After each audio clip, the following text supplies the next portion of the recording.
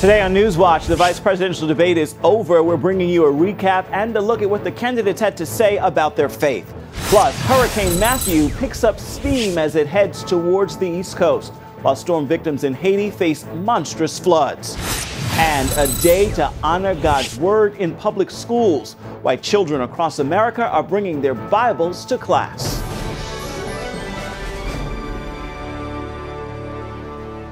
And thank you for joining us for CBN News Watch. I'm Efrem Graham. The vice presidential candidates squared off for their first and only debate. It happened at Longwood University in Virginia last night. Both candidates are skilled debaters who represent very different visions for the country and have different ideas on the role of faith in government. White House correspondent Jennifer Wishon has the highlights from Farmville, Virginia. It started as an even matchup, two skilled debaters with similar political experience. But it didn't take long for Senator Tim Kaine to demonstrate how he's prepared to be vice interrupter in chief. I was listening to the avalanche of insults coming out of Senator Kaine a minute ago. The, the, these these were said, Donald. He says, he, hold, hold, hold, on a second. It's my Governor. time, Senator. Uh, it is, in fact, right. the governor's I time. apologize. Says, this is your two minutes. Thanks. I, I forgive you. All right, we are moving on now. Senator, if your son or my people, son handled classified information the way Hillary Clinton did, they'd be court-martialed. That is absolutely false, and you know absolutely that. And you know true. that, Governor. Governor. It's absolutely well, true. Because the FBI did. As Kaine worked to paint the Trump Pence ticket as out of touch, Pence stayed calm, proving why he's important to the ticket. The pressure to perform was on him after Trump's lackluster week. Then, in the final moments of the debate, the candidates were asked about their faith. It's something they both talk about more than their running mates. But when Governor Pence shared his thoughts on the sanctity of life, the gloves came off again. The very idea that a child that is almost born into the world could still have their life taken from them is just anathema to me. And I, and I cannot, I can't conscience about, about a party that supports that. We support Roe versus Wade, and we don't think that women should be punished, as Donald Trump said they should, for making the decision to have an abortion. Donald Trump and I would never support legislation that punished women who made the heartbreaking choice to end a pregnancy. And why did Donald Trump say that? We just that? never would. Why did he say that? Well, look, look, it's it's look. He's not a polished politician like you and Hillary Clinton, and so you know. Well, I things would don't admit that's always not come out polished exactly the way. He, Both men say they take their faith seriously. for me, my faith informs my life. I try and spend a little time on my knees every day. For Kaine, a person's faith shouldn't dictate public policy. I try to practice my religion in a very devout way and follow the teachings of my church in my own personal life. But I don't believe in this nation, a First Amendment nation, where we don't raise any religion over the other and we allow people to worship as they please, that the doctrines of any one religion should be mandated for everyone. The first rule in vice presidential debates is do no harm. We'll see what the polls say in the coming days. Jennifer Wishon, CBN News, reporting from Longwood University. Pence and his wife recorded an interview with Family Talk radio host Dr. James Dobson that airs today. They talked about religious liberty issues in America. Dobson's organization is one of several involved in a legal battle over Obamacare's contraceptive mandate. Dobson told Pence if Clinton is elected and the mandates hold, groups like his could suffer irre- irreversible damage. The fine for not uh, complying to this mandate is hundreds of thousands of dollars. We'll close our door. I mean, we're out of business, and we will be if that occurs. What I can tell mm. you is that a Trump Pence administration will be dedicated to preserving the liberties uh, of our people, including the, the freedom of religion that's enshrined uh, in our Bill of Rights. You can hear this full interview at CBNNews.com. Tim Kaine declined an interview invitation by Dobson. Religious freedom is the newest battle in line in this year's presidential election. Westminster Theological Seminary in Philadelphia takes on the topic in a conference called Faith in the Public Square. CBN News' Mark Martin spoke with the school's president, Dr. Peter Lillback, about how Americans are drifting from the nation's Christian heritage. We are aware that uh, the culture that we've been part of for so many years is beginning to move from being just a post Christian culture to literally being an anti Christian culture. They see a commitment to traditional marriage as an expression of hate speech, a belief that genders are divinely given as part of our personhood as some sort of uh, opposition to the norms and standards of an enlightened culture. That entire interview with Dr. Lillback is also posted right here at cbnnews.com. The Atlantic's most powerful storm in a decade is now bearing down on the U.S. Days after hammering Haiti and Cuba, Hurricane Matthew has four U.S. states on high alert. George Thomas has the latest on the storm's potential path. This was the scene in Haiti's southwestern tip where Matthew first made landfall Tuesday, leaving rivers bloated and many people who live in shacks made of wood or concrete blocks without homes. The entire place is destroyed. Nothing was spared. Nothing. All the trees were destroyed, ripped off. We don't have anything to help us survive. Thousands of people have been displaced as the Category 4 hurricane pounded the nation. With roads blocked and communications down in parts of the country, details are still coming in, but several deaths are already known as rescue workers struggle to reach some of the worst hit areas. Operation Blessing, which has been in Haiti since the 2010 devastating earthquake, has teams prepared to rebuild homes and provide clean drinking water to affected residents. Even before the storm, we started preparing uh, by purchasing uh, building materials to uh, help fix those homes immediately. we've had a, a, a chlorine uh, manufacturing machine operating 24/7 since uh, about three, three or four days ago uh, to stock up on, on chlorine. Meanwhile, residents in Hollywood, Florida, we're buying a bunch of canned food, a bunch of water, are getting ready. Your batteries and your lanterns and your flashlight. As hurricane and tropical storm warnings are posted along the east coast of the Sunshine State. Whatever happens, even if the eye doesn't go over, I think we're going to get a lot of swell, a lot of wind, and yeah, I think it's best just to stay safe. In North Carolina, Joe Gillis, a fifth generation cotton farmer, is praying for a miracle. He fears Matthew's strong winds and rain could potentially devastate a season's worth of crop. You know, the good Lord's going to do what He's going to do to us, and we just going to have to keep the faith and hope that by some stretch of the imagination we'll make it through and still be able to salvage some of the crop. In South Carolina, the governor there has ordered more than a million people to evacuate the state's coastline today ahead of Hurricane Matthew. We also anticipate um, averaging about 100 mile an hour winds. So this is something that we want to take very seriously. Haley joined governors of three other states, Florida, Georgia, and North Carolina, in declaring states of emergency as forecasters expect Matthew to hit the southeast U.S. coast later this week. If you're able to leave early and go today, do that. Don't take a chance. Forecasters say it will likely take another day or so to get a better picture of the path and potential impact that Hurricane Matthew could have on the U.S. George Thomas, CBN News. And for more now on what to expect from Hurricane Matthew, we turn now to the AccuWeather Center. Well, I'm very concerned about Hurricane Matthew. Still a major hurricane as it has survived uh, the rugged terrain over southwestern Hispaniola and eastern Cuba. Now back over the southwestern Atlantic where water temperatures are very warm. There's not what we call a lot of wind shear, unfavorable winds in the uh, lower, middle, and upper layers of the atmosphere. And as you can see on the water vapor loop, which basically shows you all the moisture, Lots of moisture in place. Notice the blues, that moist axis working its way throughout the Bahamas right into Florida. Dry air and hurricanes, of course, don't mix. Big time impacts expected today into tomorrow. First, southeastern Bahamas, then tonight to the central Bahamas, and then heading in toward Thursday, the northwestern Bahamas, and potentially even the east coast of Florida as the hurricane warnings are currently in effect, even from Lake Okeechobee eastbound out toward West Palm Beach.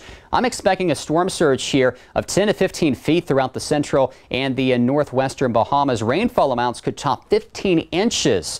So the combination of those two will likely lead to lots and lots of damage. All right, here's what's eventually going to happen with Matthew. High pressure shifts east. Notice its movement here Thursday into Friday. It now shifts off to the north. So now impacts are being felt from the Georgia coastline toward the Carolina coastline. And as we uh, take a look at the track here more so, we're expecting that category 3 to category 4 hurricane to maintain intensity all the way through Friday. The Russian military has beefed up its forces in Syria with state of the art air defense missiles. CNN reports the country has brought an additional, more advanced anti aircraft and anti missile system into northwest Syria. If the missile is set up at a high altitude, it will significantly expand Russian air defense coverage against Syria. U.S. officials said they have developed a concern over the missile, but say the battle for Aleppo will not end quickly. Reporters, uh, reports add the new missile system is not yet operational. The Philippines president has unleashed a new tirade against President Obama, saying the U.S. leader can, quote, go to hell. His statement came in response to U.S. criticism of his deadly anti drug campaign. It also comes at the same time U.S. and Philippine forces opened joint combat exercises today. The president of the Philippines has said, though these will be the last joint military drills with the United States, he has announced plans to scale back on the deep historic ties with the U.S. Today, the six year old from South Carolina who died after a teen gunman opened fire at his elementary school is being laid to rest. Jacob Hall's parents invited people to dress up as superheroes to celebrate his life. The district superintendent of schools says there will be a moment of silence this afternoon for Hall. A teacher and another student were also shot. Both are expected, though, to recover.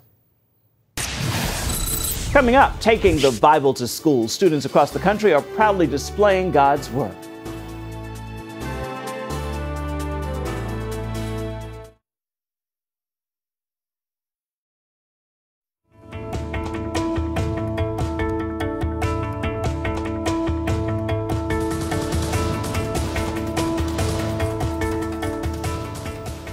This Thursday, more than 300,000 students will allow their light to shine on their school campuses. Bringing Your Bible to School Day is a one day event and it's completely student directed. Its purpose is to empower students to express their faith in a respectful way that shows the love of Christ. It is backed by the Alliance Defending Freedom and Focus on the Family. Earlier, our Mark Martin spoke with Focus on the Family's Candy Cushman about this event. You have more than 300,000 students going to school with their Bibles on Thursday. Can you explain the purpose of this movement? Yes, well, just in a nutshell, this is a religious freedom initiative for students nationwide, kindergarten to college. And they are just going to be celebrating their religious freedom and uh, talking with their friends, sharing God's hope, uh, just by taking a simple action. Just taking their Bibles to school and talking about why they're doing that and sharing about what they believe in it with their friends before and after class. What do you hope the students who participate in Bring Your Bible to School Day will learn from this experience? Well, you know, unfortunately, we here at Focus have heard from families, and also I- am sure your audience has seen all the news headlines about students being told things like, you know, you can't do something simple like just bow your head and pray before lunch or have your Bible out at your desk during free reading time. And that's just not correct. That's not correct under our Constitution or our First Amendment. And so we want students to understand what their rights are and just to have a visual celebration of their freedoms and a reminder that they can, you know, share freely about their deeply held uh, religious beliefs. Let's talk a little bit more about that. Some parents may wonder if they are within their rights to send their kids to school with a Bible or even express their faith at school. What's your answer for them? Yes, I would just reassure parents that uh, students have tremendous rights to do something simple like bring their Bible to school, just like they would, you know, with any other favorite book that they have, and be able to read that during free time or even talk about it during lunch with their friends. And these rights have been backed up by several decades of court decisions, even up to the Supreme Court. So this is well established. And I think the basic thing to remember, because we hear a lot of phrases thrown around, you know, like separation of church and state. But the fact is that the students are not the state. They are not speaking for the government. They are speaking as private individuals expressing their personal faith. So there's a big difference, and they have um, a strong right to do that. There's a lot of concern about religious freedom in today's climate. How do you prepare the students to handle negative reactions from other students or maybe even the school itself?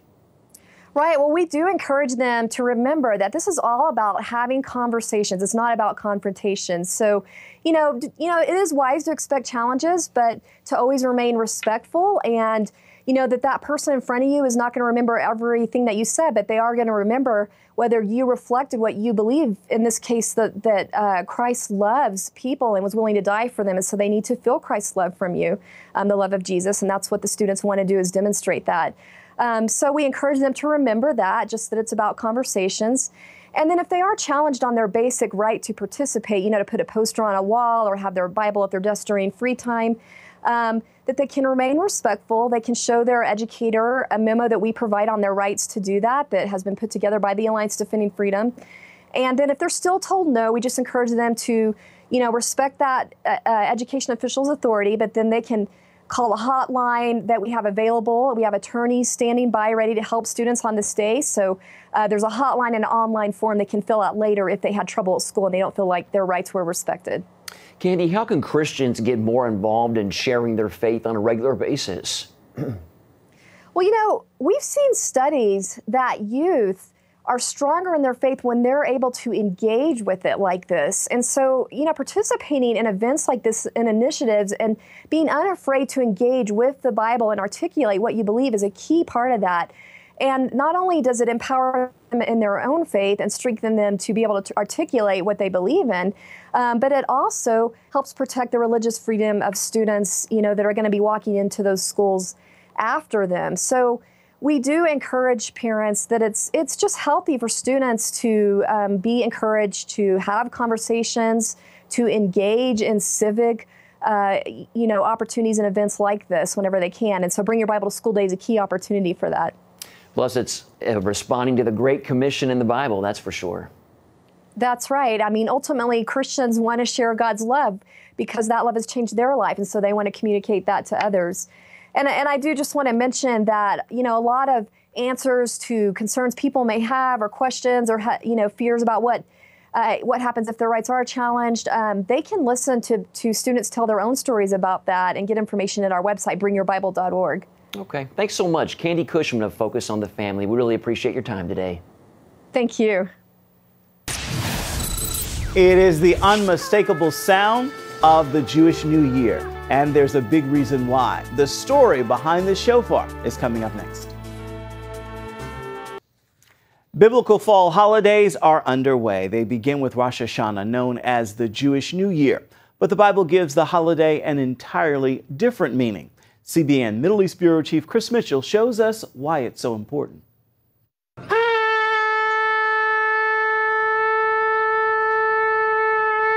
Rosh Hashanah literally means head of the year, the new year. But biblically, it's much more than that. In the book of Leviticus, it's called Yom Teruah, the day of the blowing of trumpets or ram's horn, the judgment day. The only commandment during Rosh Hashanah is actually to hear the sound of the shofar.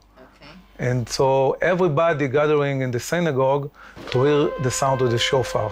It's something that people connect to their soul to hear the sound of the shofar.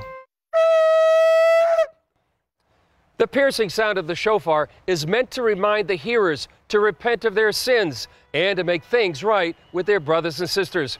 The rabbis say that reconciliation with God and man confounds the enemy. A shofar is a musical instrument made from a horn. This is the oldest uh, musical instrument. And the Jewish Orthodox we have a committee to hear the sound of the shofar during a New Year, the, our uh, ju Judgment Day. As part of a two family business, Eli Ribach is a third generation shofar maker. The process is uh, poly grinding, polishing, then we drill uh, open mouthpiece this is uh, quick, but it's a lot of experience and a lot of hand work because each horn is a different size, different thickness, so you have to be experienced to make a good shofar.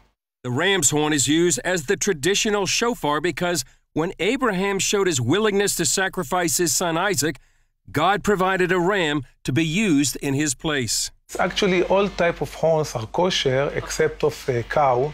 That's because the Jewish people don't want to remind God of the time Israel worshiped the golden calf in the wilderness.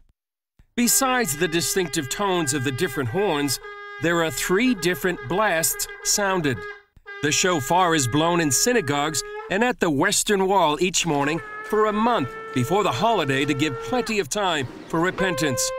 You and I both know that uh, we need a lot of reminders in our daily life to repent, to think of the things of God. It's like an alarm clock for the soul. Ribach says it's not just Jewish people who blow the shofar. We sell the shofar all over the world.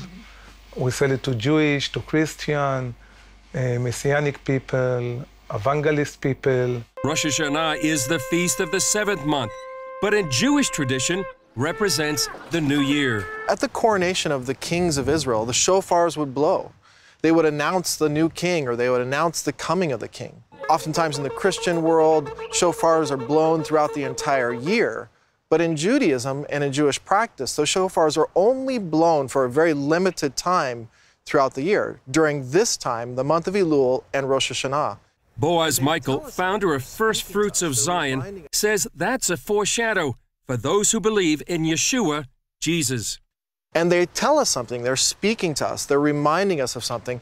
And one of the things they're reminding us of is the creation of the world, the coming of the King, King Messiah one day at this time, uh, the coronation of his kingdom here on earth. This is what the shofar is to remind us of. And it speaks to us every day when we hear that sound. Chris Mitchell, CBN News, Jerusalem. An unmistakable sound and a moving one indeed now that we know the reason behind it. Stay with us. We're coming right back with more of CBN Newswatch.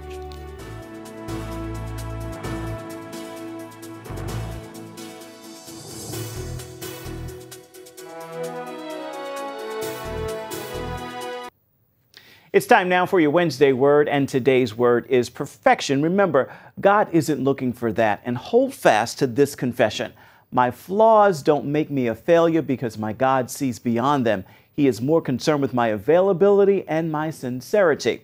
With that word, be sure to make this a wonderful Wednesday.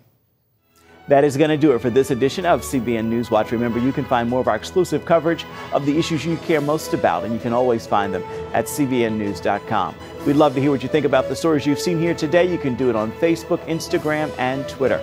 We'll see you right back here tomorrow. Make it a wonderful Wednesday.